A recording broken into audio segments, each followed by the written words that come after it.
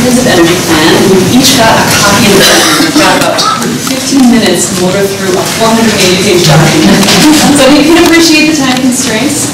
Um, So Peter asked me to focus on a few specific things, so I'll try to kind of keep it, keep it in that realm. Um, He asked me to talk about the process, what the CEP does, and what the CEP does not do. Um, So maybe I'll start with the process. Um, And it was a, a a very comprehensive energy kind of effort across all agencies. We met with heads of agencies um, and their staff about every two weeks for a period of eight or nine months drafting this. The Agency of Transportation prepared the entire transportation chapter. So it was an effort at looking across sectors, that means buildings, transportation, and electricity, at our energy use um, and how to, how to move the ball forward. We also received public comments, worked with utilities, um, really all across Vermont. Uh, On the public process side, um, a huge thank you to VCAN that actually did all of the organizing of the public meetings for us. Um, So we had regional forums in four different cities, then we had four additional topical forums, um, and we took general comments and had an online survey before we even put out a draft at all. So that was to try to really get a broad view of kind of from Vermonters what they were interested in. Um, And then after the draft, we, uh, we also had four more public hearings that were very well attended. Um, Some of you were at those meetings. Um, And then we took another round of written comments. So it was a pretty comprehensive process, and I really feel that this, this document, even though there are a lot of compromises in it, but it reflects the values of Vermonters all across the state. So I'd love to just pull out few major themes for you. One is that I think there's a false dichotomy of we have to choose either the climate or the economy, when in fact many of the clean energy solutions that we're talking about can be an economic boon and an economic driver. So um, we've seen clean energy jobs grow by leaps and bounds in the state. Um, About one in 16 workers is employed in the clean energy economy, and that's up 30% since 2013. I would challenge any other sector um, to show that kind of growth um, in that, that a time span. Uh, So we've also had a real focus on affordability and stability. So many of the statutory goals that are outlined and goals in the CEP focus on acquiring energy for a long period of time at a stable price from low carbon sources. Uh, And we at the department are laser focused um, on keeping electric rates low. Uh, Another kind of interesting aspect that I think is underappreciated about the CEP is its focus on helping the vulnerable. Um, So we had a whole heat for building section that really did a lot of um, deep thinking about what makes access to weatherization so difficult. Um, It turns out it's financing, it's getting reliable contractors, it's an energy, or it's an information barrier. So we're kind of uncovering what are those barriers to low-income weatherization and how can we uh, address those barriers directly. So one program I wanted to bring to your attention is the Heat Saver Loan Program um, that kind of came out of the 2011 CEP and that we talked about in this CEP. Um, And basically what that did was it leveraged both public and nonprofit financing to kind of unlock private financing um, to allow weatherization to happen. So all we really needed to do was an interest rate buy down and a loan loss reserve fund. And then that allowed private credit institutions to get involved and provide capital for weatherization for low-income folks. So it turned out that with a, a very small public investment, we could actually access big private dollars. Um, So I think that's uh, a real success story, and we look forward to building on that. Um, Another area that the department really focuses on is codes and standards. So we maintain all the building codes, and I think that has a really big impact on people's energy use, their energy spending, as well as health in the home. So we've got a lot of points of leverage available to us um, that we're going to draw out in the CP. CEP. Uh, So what the CEP does is that it really identifies and pulls forward the scale and the scope of what we need to do across um, the whole economy. I mean we kind of address three sectors in particular, buildings, transportation, and electricity. Um, So what I've got here is a little diagram of, this is kind of one illustrative pathway that we mapped out that we could get to 90 by 50. Um, And usually when I do this presentation, I do our today and then side by side in 2050. I'm kind of trying to speed things up. But one thing I want to point out is that your fossil fuel gets squeezed relatively low, but um, what gets squeezed the most is actually waste and losses. So the biggest places that we can make gains are in efficiency, and I mean end-use efficiency, the kind, you know, light bulbs, dishwashers, that kind of stuff. But I also mean efficiency in the electric grid itself. And by moving away from internal combustion, we actually get a lot of efficiency through renewable sources. So about 75% of the latent energy in fossil fuel is wasted when you combust it in an internal engine. So just moving away from combustion in transportation and combustion in electricity productivity, um, electricity production, gets us huge efficiency gains. Um, So most of 90 by 50 is efficiency. Uh, And then there's this additional kind of biofuels and also um, electric sources, so hydro, wind, and solar. Uh, Another one thing I want to point out about this graph is that electricity grows. So we really anticipate that our electric needs are going to decrease by about 30%.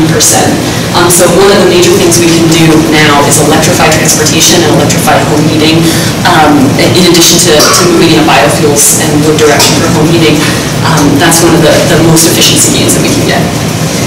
Um, So another thing that CEP does, um, and not many people know this, I think they think of it document, but it actually provides about 300, over 300, really specific recommendations. And many of these recommendations are actionable today.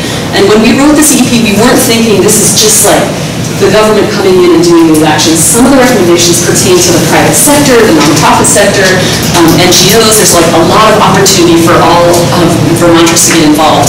So I just wanted to pull out a couple of examples of recommendations. So this goes back to the Heat Saver Loan program that I was talking about, um, and we have, we've had some other financing programs over the years that we thought have been really successful.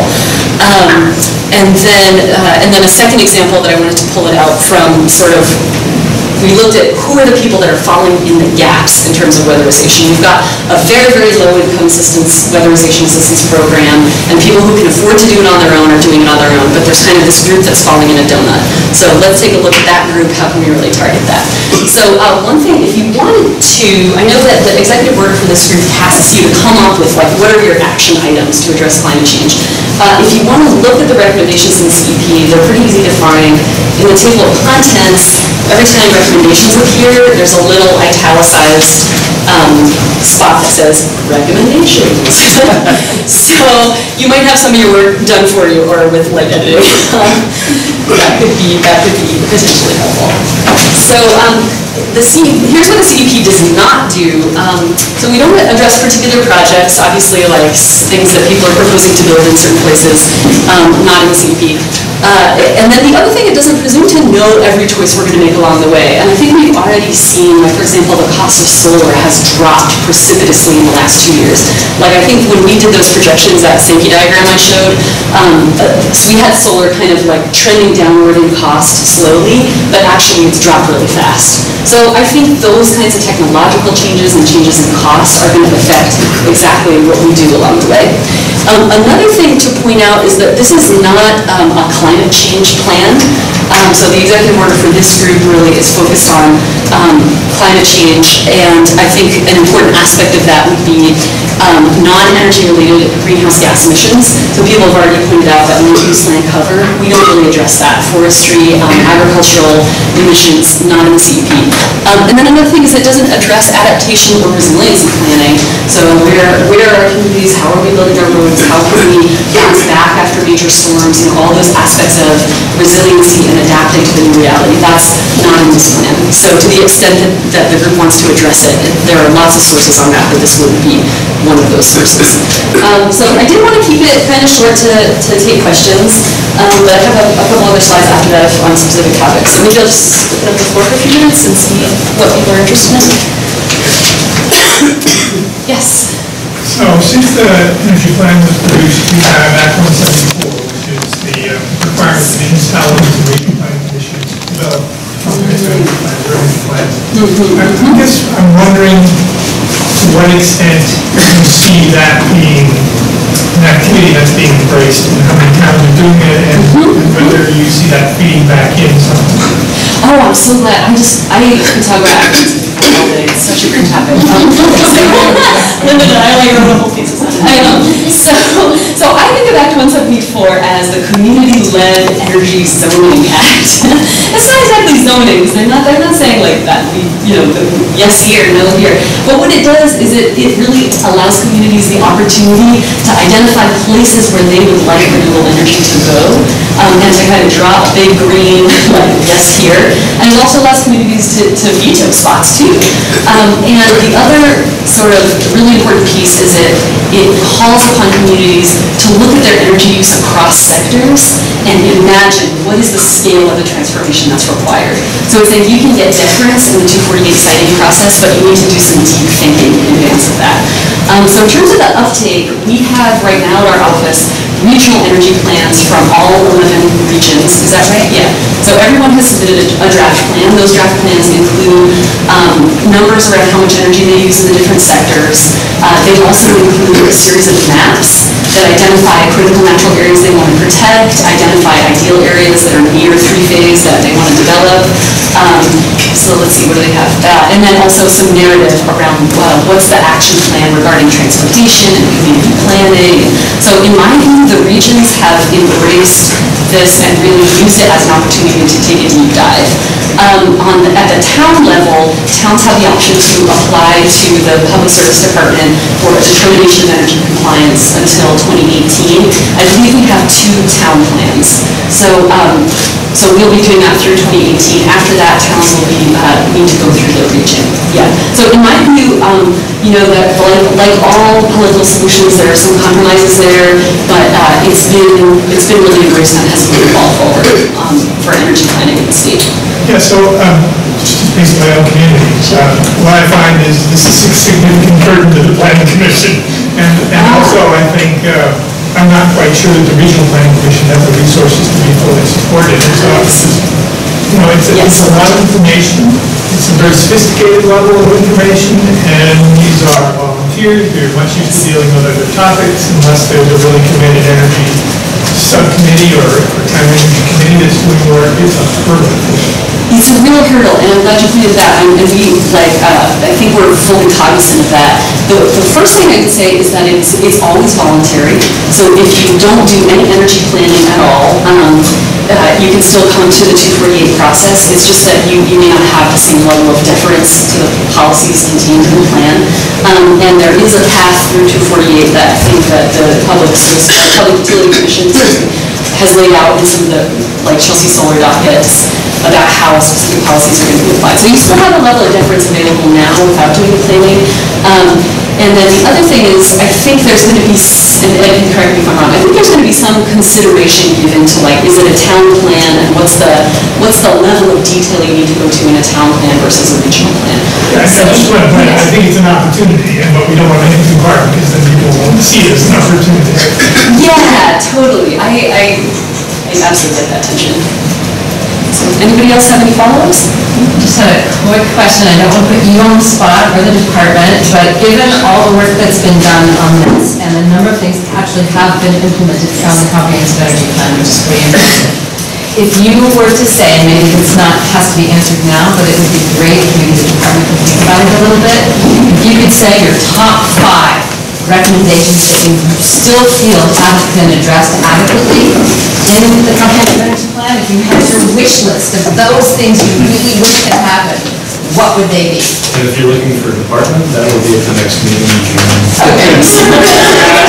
And uh, my wish list is more than five, so I hate to disappoint, but. Do a quick highlight for us, so we can go and you say, okay, these are the ones that Maybe you have can done. pass on that request. Yeah, we'll take that back to June, I'm sure she'll have some, some go one step further, what thing, what five things are not even in there? Right, well, that's what we may aim at doing. Like, why assume that that's a complete Yep. document, Yep. the end all? I don't, I don't think we'd all be here if it was assumed to be incomplete, you know, it's, it's out of date as soon as it's, it's, you know, it's print, so, um, we're all here to see what's next. And that's one thing I want to add, I can talk with Bill and Ed about this, but it just says it's in here on page seven. Um, One of the things that I think is important to think about is while we move towards some of these other technologies that leverage uh, energy, uh, even at 2016, some stuff is out of date because what we're seeing, I know our other, Steve is not, what we're seeing in Mountain Power is that um, energy consumption is actually not increasing, it's decreasing.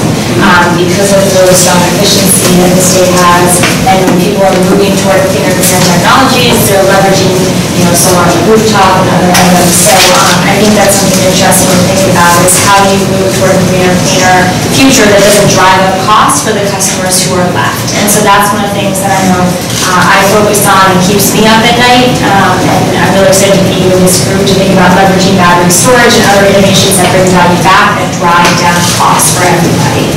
Yeah, and I definitely want to put a fine point on the low-income impact of that, because who has the, the capital and finances to exit, the exit the grid, uh, by which I mean install net metering, get batteries. The people left holding the bag and being connected to the grid are going to be low-income, elderly, and so we really, really need to look out for those people and keep costs low, so.